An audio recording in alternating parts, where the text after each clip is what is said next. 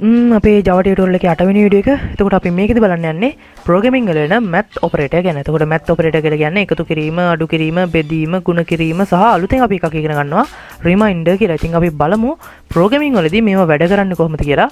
දැන් අතකොට අපි වේරියබල් ගැන ඉගෙන ගත්තනේ. වේරියබල් හදන්න ඉගෙන ගත්තා. ඉතින් වේරියබල් එකක් කියලා අපි කිව්වේ අපේ data తాවකාලිකව ස්ටෝර් කරලා තියාගන්න. අපේ ප්‍රෝග්‍රෑම් එකේ තියලා තියාගන්න හදන ඉඩකට තමයි අපි මේ වේරියබල් එකක් කියලා කිව්වේ. ඉතින් වේරියබල් එකට දාගන්න data අපි පස්සේ අපේ ප්‍රෝග්‍රෑම් එකේ යූස් කරනවා. ඉතින් අපි බලමු වේරියබල් දෙකක දාගෙන තියෙන ඩේටා එකතු කිරීම අඩු කිරීම කරන්න කොහොමද කියෙන ඉතින් මට වේරියබල් තුනක් ඕන වෙන එකට දෙකක් අපේ ඉලක්කන් දෙක දාලා තියන්න. තුන්ගෙන එක අපේ උත්තරේ දාලා තියාගන්න. ඉතින් අපි ඉස්සල්ලාම වේරියබල් තුනක් හදාගමු.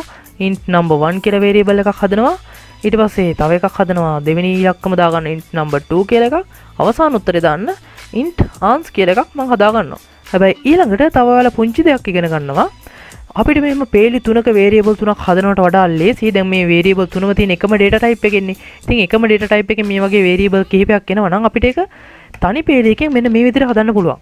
වේරියබල් තුනේම යූස් කරපු ඩේටා ටයිප් එක int නේ. ඉතින් මම int කියලා දීලා ඊට පස්සේ මට පුළුවන් කමා දදා මගේ වේරියබල් තුනේ නම් ලියන්න. හරි. ඔන්න ওই විදිහට හදාගන්නවා. ඉතින් පුංචි දෙයක්. හැබැයි ගොඩක් වැදගත් වෙනවා. ඊළඟට ඔන්න මම මගේ වේරියබල් දෙකට නම්බර් 1 සහ නම්බර් 2 කියන වේරියබල් දෙකට වැලියු දාගන්නවා. නම්බර් 1 කියන එකට 11යි කියලා දෙනවා. නම්බර් 2 කියන එකට මම දෙනවා 3යි කියලා දෙමු අපි. හරි ඔන්න දැන් මම වේරියබල් දෙකට වැලියුත් දාගත්තා. ඊළඟට මම ආන්ස් කියන වේරියබල් එකට ගන්න යන්නේ මුලින්ම අපි මේ දෙක එකතු කරලා බලමු. දැන් මට 11ට 3ක් එකතු කරන්න ඕන නම් මට ආය පාරක් 11 එකතු කිරීම 3 කියලා ලියන්න ඕන නැහැ.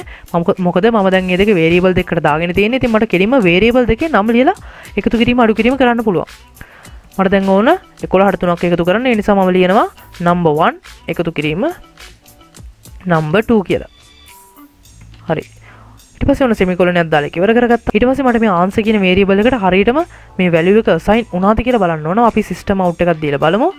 system.out.print ln හරි ඊට පස්සේ මට බලන්න ඕන answer කියන variable එකේ තියෙන value ගැන answer කියලා දුන්නා. අපි save කරනවා. ඊට පස්සේ මම යනවා මගේ command prompt එකට. ඉස්සෙල්ලාම අපි compile කරමු Java C වලින්. හරි අර එකක් නැතුව කම්පයිල් වුණා ඊට පස්සේ Java වලින් execute කරගන්න. ඔන්න මට 14යි කියලා උත්තරේ ඇවිල්ලා තියෙනවා. හරි 11ට 3ක් එකතු කරාම උත්තරේ 14යි. ඉතින් අපිට අඩු කිරීමත් මේ විදිහටම කරන්න පුළුවන්. අඩු කිරීමත් දීලා බලමු. control S වලින් save කරනවා. command prompt එකට ගිහිල්ලා Java C වලින් කම්පයිල් කරගන්න ඊට පස්සේ Java වලින් execute කරනවා. ඔන්න මට 8යි කියලා උත්තරේ ඇවිල්ලා තියෙනවා. ඊට පස්සේ ඒ වගේම ගුණ කිරීමත් කරන්න පුළුවන්. Control S save කරා. command prompt එකට ගිහිල්ලා මම කම්පයිල් කරගන්නවා Java C වලින් ඊට පස්සේ Java වලින් execute කරනවා. ඔන්න මට 33යි කියලා උත්තරය ඇවිල්ලා තියෙනවා. හරි. ඊළඟට අපි බලමු බෙදීම කොහොමද කරන්න කියලා. බෙදීම කියලා කියන්නේ ටිකක් විශේෂ එකක්. ඔන්න බෙදීම කියන එක දුන්නා. ඊට පස්සේ මම මේක save කරගන්නවා. ඊට පස්සේ command prompt එකට ගිහිල්ලා අපි මුලින්ම කම්පයිල් කරලා බලමු. හරි. ඔන්න කම්පයිල් වුණා. මම මේක පොඩ්ඩක් පැහැදිලිව පේන්න උඩට ගන්නම්. හරි. ඊට පස්සේ දැන් Java වලින් execute කරගන්නවා. ඔන්න මට 3යි කියලා තමයි උත්තරේ ඇවිල්ලා තියෙන්නේ. එතකොට දැන් අපි හොඳටම දන්නවා අපි 11 තුනෙන් බෙදුවට පස්සේ උත්තරේ 3ක් නෙමෙයි 3.0 ගානක් තමයි එන්න ඕනේ. හැබැයි මෙතනදී මට උත්තරේ ආවේ 3යි කියලා. ඉතින් ඒකට හේතුව තමයි අපි දැන් මෙතන යූස් කරලා තියෙන data type එක int කියන එකනේ. එතකොට දැන් Java හිතනවා අපි මෙතන යූස් කරලා තියෙන int data type එක නිසා එයා උත්තරේ දෙන්නත් ඕන int වලින්ම කියලා. int කියලා කියන්නේ integer නේ. නිකිල පූර්ණ සංඛ්‍යාව. එතකොට උත්තරේ දෙන්නේ පූර්ණ සංඛ්‍යාවකින්. ඉතින් ඒ නිසා තමයි අපිට අර දශමාගයන් ටික නැතුව පූර්ණ සංඛ්‍යාව විතරක් ඇවිල්ලා තින්නේ. ඉතින් මට දශමත් එක්කම ගන්න ඕන නම් මට පුළුවන් මෙතන ඩබල් කියන data type එක use කරන්න. ඉතින් ඩබල් කියන data type එක දීලා මම save කරනවා. ඊට පස්සේ command prompt එකට ගිහලා අපි බලමු. සනම් ඔන්න Java C වලින් compile කරනවා. ඊට පස්සේ Java වලින් execute කරනවා. ඔන්න දැන් මට 3.0 ගාණක් මට උත්තරේ විදියට ඇවිල්ලා තියෙනවා. ඉතින් දැන් ඔයාලට තේරෙනවා ඇති ඇයි ඉස්සල්ලා අපිට පූර්ණ සංඛ්‍යාවක් ආවේ ඊට පස්සේ ඩබල් කියනකොට දශමත් එක්කම උත්තරය ආවේ කියලා. මොකද ඩබල් කියලා කියන්නේ අපි දශම සංඛ්‍යාව ස්ටෝර් කරන්න ගන්න data type එකක් නිසා තමයි අපිට දශමත් එක්කම උත්තරය ආවේ. හරි ඊට පස්සේ මම ආයෙ පාරක් මේක int කරගන්නවා. ඊළඟට අපි අනිත් ඔපරේටර් එක බලමු reminder. ඔන්න reminder දැම්මා අපි බලමු reminder එකෙන් මොනවද වෙන්නේ කියලා. ඔන්න මම ඉස්සලාම save කරලා අපි ඉස්සලාම run කරලා බලමුකෝ.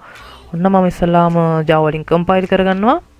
Java C වලින් compile කරලා ඊට පස්සේ Java වලින් execute කරනවා. ඔන්න මට උත්තරය ආව 2යි කියලා. ඉතින් මේ 2යි කියන උත්තරේ ආවේ ඉස්සල්ලා අපි 11 3ෙන් බෙදුවට පස්සේ උත්තරය ආවේ අපිට 3යි කියලානේ.